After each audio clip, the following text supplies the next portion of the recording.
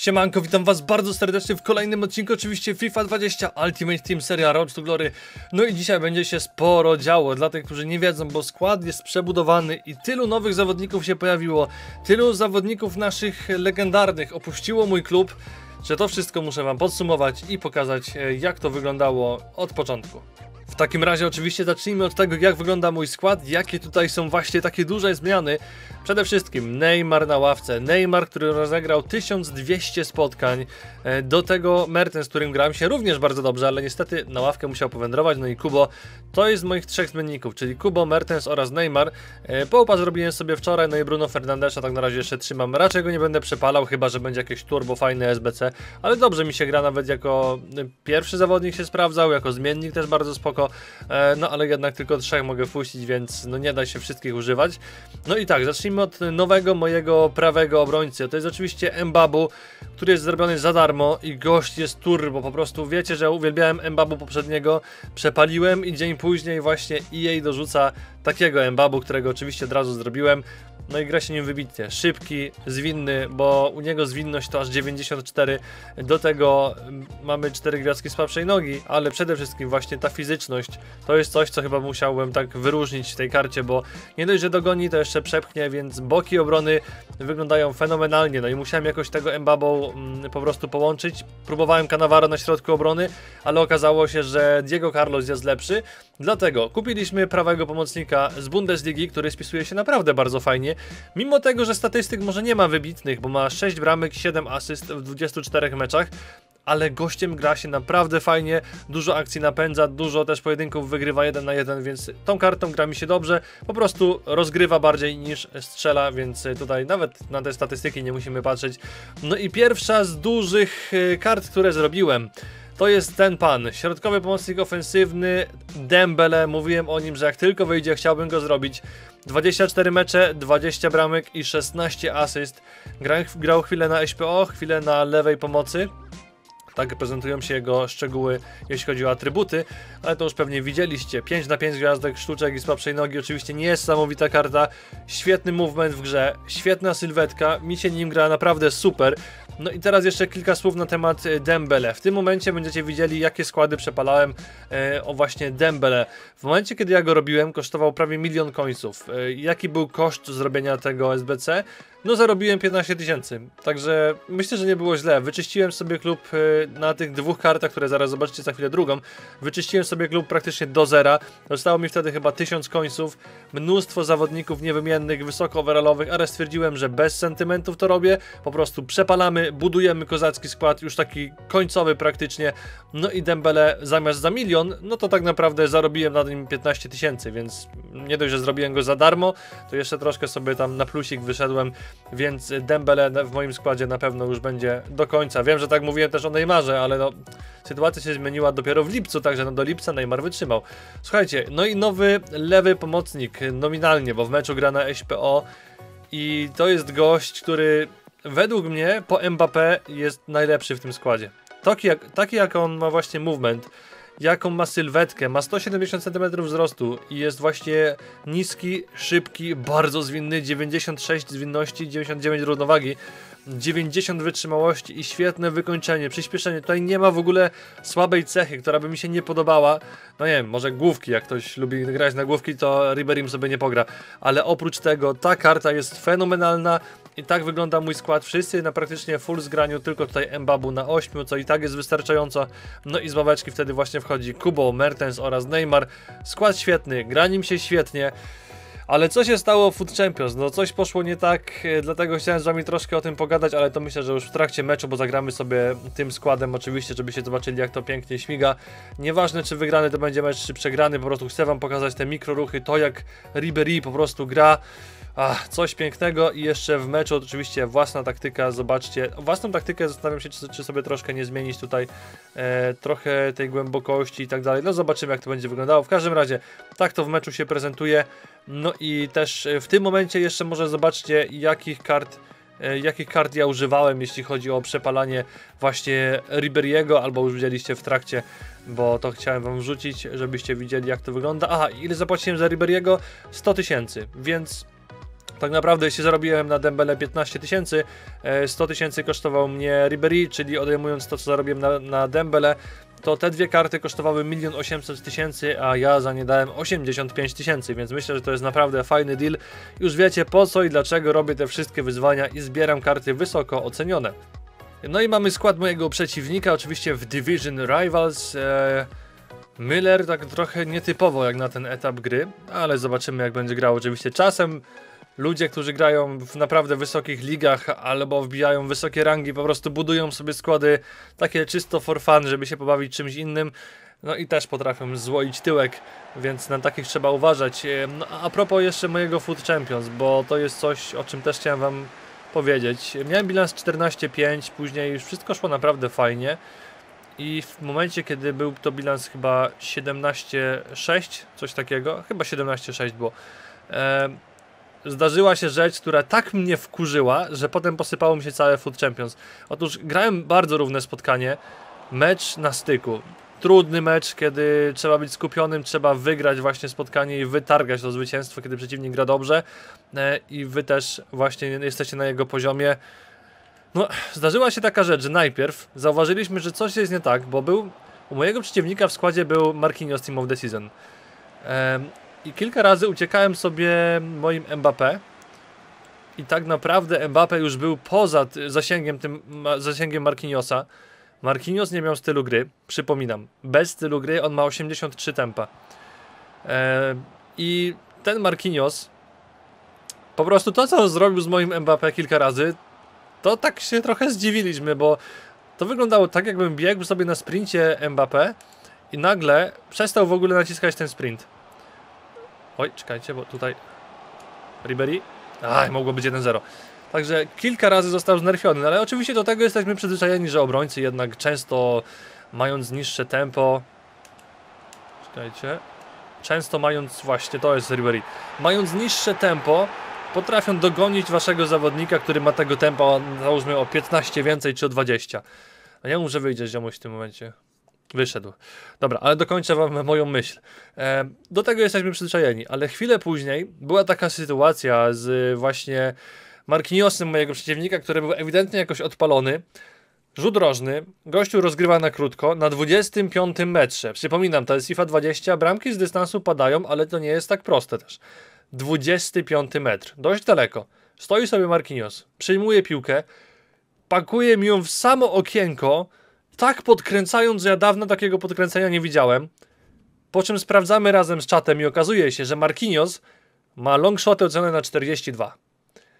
Tak się zrage'owałem wewnętrznie, że po prostu przestałem grać dobrze i posypało mi się całkiem Food Champions, skończyłem E, o, akurat jeszcze jeden mecz muszę zagrać.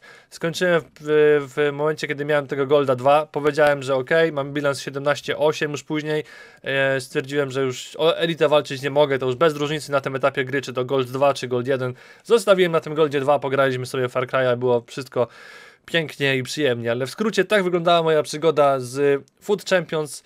Nie wiem, czy mieliście takie sytuacje absurdalne też jak sobie z nimi radzicie, ale u mnie to tak wyglądało. No, powinienem zareagować spokojnie. Oczywiście nikogo nie wyzywałem, nie rzucałem padami, ale no wkurzyłem się po prostu. A teraz mamy skład z Ben Yedderem, z y, Mbappé, De Jongiem, którego de facto ja przepaliłem. O, Kim Pembe też się często wczoraj pojawiał. No zobaczymy, jak będzie grał.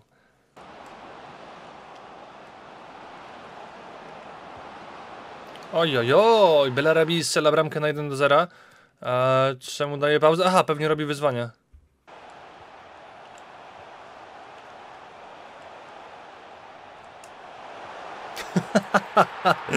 to jest właśnie Ribery, a teraz wam w ogóle pokażę... O nie, nie uda się. Szkoda, ale nowa cieszynka jest odblokowana już u mnie też. Może ją później zobaczycie.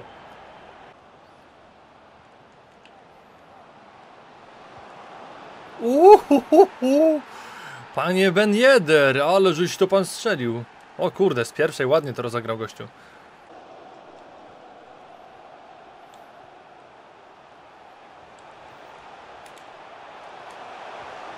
Ładnie, bardzo ładnie. Kylian Mbappé. Mamy bramkę na 2 do 2.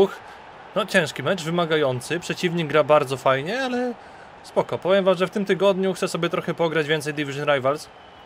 Trochę spróbować innych taktyk e, i trochę może zmienić delikatnie swój styl rozgrywania i też bronienia, bo Wydaje mi się, że to jest zbyt agresywne, a w tej FIFA trzeba grać niestety pasywnie. Ale zobaczymy, czy uda mi się to zrobić jeszcze, zmienić ten mój, mój styl właśnie w tej FIFA, czy też nie. To się okaże. E, ale myślę, że warto spróbować, warto teraz poeksperymentować trochę, bo jak nie teraz, no to kiedy? Uuu, Ribery ładnie. Zastanawiam się też jeszcze nad jedną opcją, jeśli chodzi o taktyki, bo tak sobie kminiłem, że teraz zawodnicy już mają na tyle dobrą staminę, że może by spróbować zagrać po prostu e, na mm, zdecydowanym pressingu cały mecz. Jestem ciekaw, jakby to wyglądało, kiedy bym presował bardzo mojego przeciwnika. Oczywiście minus tego jest zawsze taki, że jak wam już e, tą pierwszą falę, którą presujecie, rozklepie, to później ma dużo, dużo miejsca i może wam łatwo stworzyć taką no, groźną kontrę. Także to trzeba będzie jeszcze przekminić, popróbować, ale w sumie można się pobawić trochę innymi taktykami, bo myślę, że ten skład to i tak dużo się nie będzie zmieniał. Oj.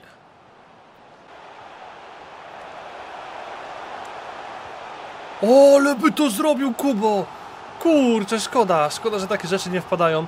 Swoją drogą, bardzo ładna bramka wczoraj strzelona też przez e, Riberiego właśnie z rzutu. Co jest? Karny! No proszę! Z rzutu wolnego Ribery wczoraj bardzo ładnie strzelił. Powoli już te jego rzuty wolne rozpracowuje. Strzela mi się je e, zdecydowanie lepiej. Dobra, Luka Modric. Panie kolego.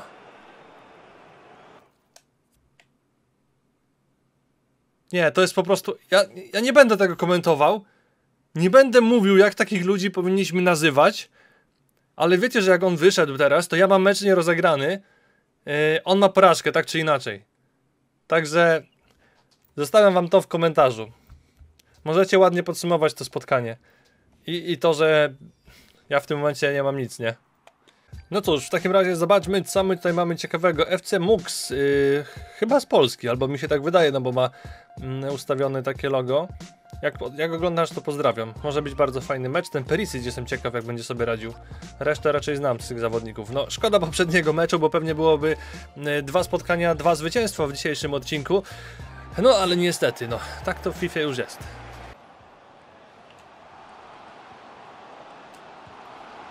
No, szkoda!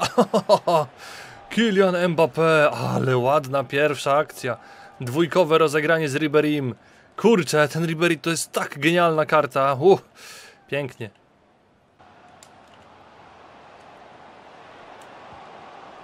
Widzicie co goś robi? No naprawdę, można się nim bawić. Można nim grać też używając mikroruch, mikroruchów samych, bez używania zwodów.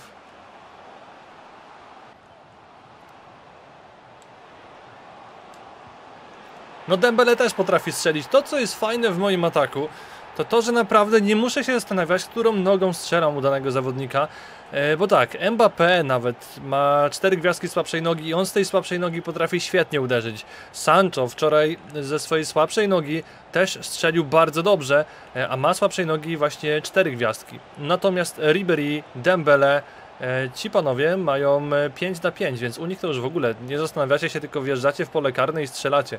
Także to jest mega Coś fajnego. Oj, oj, oj, oj, oj, oj, oj, oj. Ładnie to zrobił.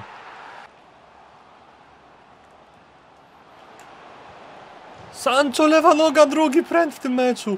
No hit, po prostu hit, hitów, hitowych. 2-1? Tak jest. Mbappé. Ale dwa pręty w tym meczu.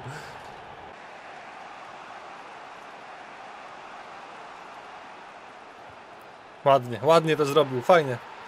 Mamy 2 do 2. Właśnie tak pobiegłem specjalnie tam do asekuracji e, do drugiego zawodnika i byłem tak byłem ciekaw, czy jednak przedrybluję mojego bramkarza, czy nie. No trzeba było podjąć ryzyko przy sam na sam. W każdym razie, fajne spotkanie 2-2. Szkoda tych metalowych prętów tylko.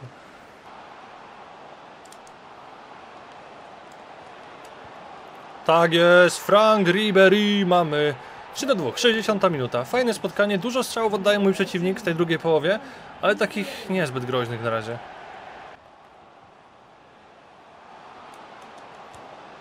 Kurczę, ten Ribery jest niesamowity.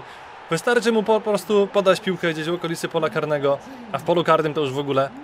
Mamy teraz bramkę na 4 do 2. Chciałem wam pokazać jak gra Ribery e, w dzisiejszym odcinku i chyba to mi się udało.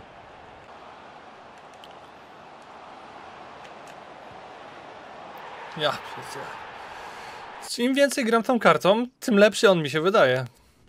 I mamy koniec tego trzeciego spotkania. Ribery odbiera piłkę. Zobaczmy ile on bramek w ogóle strzelił w tym meczu, ale wydaje mi się, że trzy, na pewno, na pewno trzy były. Ale ile więcej? Eee, czekajcie, wróćmy tylko tutaj. Trzy bramki, dokładnie. Trzy bramki, a jeśli chodzi o asysty, dwie asysty San Sancho. To jest to, o czym wam mówiłem. On dużo nie strzela, ale naprawdę fajnie rozgrywa e, i to mi się podoba. Z tego co widzę udało się ukończyć tydzień piąty złoto, więc y, póki co nie mam nic do roboty jeśli chodzi o te wyzwania, bo te akurat to już sobie mogę odpuścić na spokojnie, nic tutaj ciekawego nie ma, e, a czekam już teraz tylko na ostatnie wyzwania, zobaczcie 3000 punktów i kończymy ten sezon, już bym miał skończony, tylko nie zrobiłem wyzwań. Złoto 4 z poprzedniego tygodnia, jakoś mi się tak po prostu nie chciało, były takie dość dziwne, czy to było dwa tygodnie temu, chyba dwa tygodnie temu nawet może, no i zobaczymy czy EA dzisiaj coś e, wrzuci wieczorem, jeśli chodzi o robienie nowych kart. Mam nadzieję, że nie, to wtedy sobie pogramy trochę więcej wirtualnych klubów oraz pewnie Far Cry'a, a być może zajmę się też dzisiaj wieczorem traf, drafem, drafem, tak, draftem. O godzinie 20 was mogę zaprosić już na live'a na Twitch, oczywiście bardzo fajny draft wyszedł, e, przynajmniej przód, no nie, mamy Maradonę, Ronaldinho, Azarda, no, zobaczymy jak to będzie wyglądało. Także wbijajcie o 20, pamiętajcie i na główny kanał was też zapraszam, bo tam pojawiły się kolejne piłkarskie wyzwania. No i tym razem piłkarskie wyzwania Kevina De Bruyne i powiem wam co goście się odpalili i Kamil i po prostu i Majer, jeden i drugi. Czapki z głów. Widzimy się kolejnym razem, mam nadzieję, że wam się podobało. Do następnego. No i róbcie Riberiego, jak was stać to koniecznie. Na razie i piona.